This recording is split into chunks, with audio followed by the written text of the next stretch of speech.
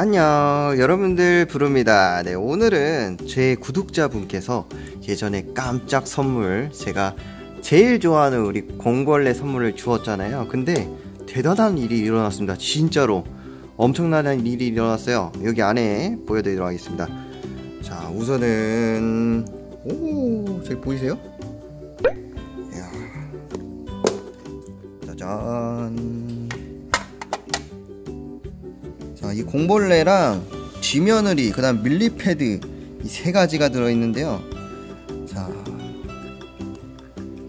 이걸 들쳐버리면 오, 오, 오, 오. 짜잔. 자, 바로 여기 알콩달콩 우리 쥐며느리 공벌레들이 번식에 성공을 하였습니다. 근데 이게 어, 굉장히 놀라운 일이 이게 한두 마리가 아니라 진짜 엄청나게 많아요. 제 생각엔 최소 100에서 200마리가 성공했을 거라고 생각을 하는데요. 자, 사실 제가 준게 없어요. 가끔 젤리 하나 주고, 그 다음에 낙엽이랑 톱밥, 그 다음 흙을 골고루 섞어 준 것 뿐이 없는데, 굉장히 많이 성공을 해서 굉장히 기쁩니다. 자, 우리나라 토양을 비옥하게 해주는 우리 공벌레 지며느리들. 와, 얘는 작은데 얘 엄청 커. 얘 엄청 커요. 야 귀엽지 않아요? 전 너무 귀여워 이것도 그건데 이게 아래 더 있어요 와 잘 보이시죠? 굉장히 많아요 지금 나무 껍질 사이사이 구멍을 이렇게 파서 이제 먹이를 먹는 것 같기도 하고요 나무 껍질 얘네들은 집단 생활을 하면서 어떻게 지며느리랑 공벌레랑 이렇게 잘 지내는지 모르겠지만 서로 싸우지도 않고 굉장히 친한 모습을 보이는 거 봐서는 굉장히 신기한 것 같고 저 더듬이로 서로 신호를 주고 받는 것 같아요. 야 비켜 비켜. 막 이런 식으로. 신기하지 않아요? 이 영화에 보면은 저글링들 있죠? 약간 그런 느낌도 살짝 나요. 귀여워. 근데 내 눈엔 너무 귀여운데?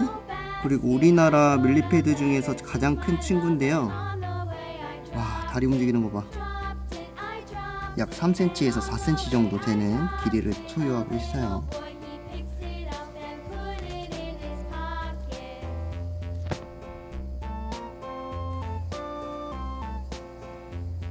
와 여기 톱밥이 되게 많다 짜잔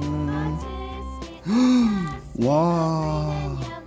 자, 사실 이 생물을 굉장히 징그러워 하실 분도 계실 거라고 생각을 하지만, 이 밀리패드, 제가 예전에 채집해온 밀리패드도 굉장히 잘 살아있는 모습을 볼수 있어요.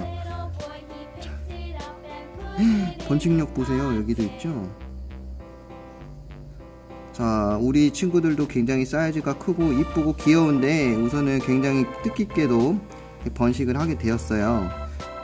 제가 해준 건 없지만 너무너무 기쁜 날이고 우리 친구들을 나중에 좀 번식을 해서 자연에도 원래 많지만 또 우리 농가에 가서 다시 방생을 해줄 예정입니다. 아이고 이 밀리패드는 몇 마리가 폐사를 했네요 자 여러분들도 집에서 소소하게 지며느리 공벌레를 사육하실 때 팁을 드리자면 자연에 있는 흙, 그 다음에 부엽토나 이런 악엽 썩은 것들을 넣어주면 굉장히 사육이 쉬우니까 여러분들도 한번 도전 한번 해보시고요. 여기도 나무 껍질이 있었네. 나무 껍질 되게 좋아해요. 참나무 껍질이랑 소나무 껍질. 어, 계속 나와 나무 껍질들을 넣어주시면 좋을 것 같습니다. 어느 정도 성장을 하면 땅에 파고 들어가는구나. 지네도 있었네. 자 해가지고 오늘은 여기서 마무리 하도록 하겠습니다. 다음에 봬요. 안녕. 요시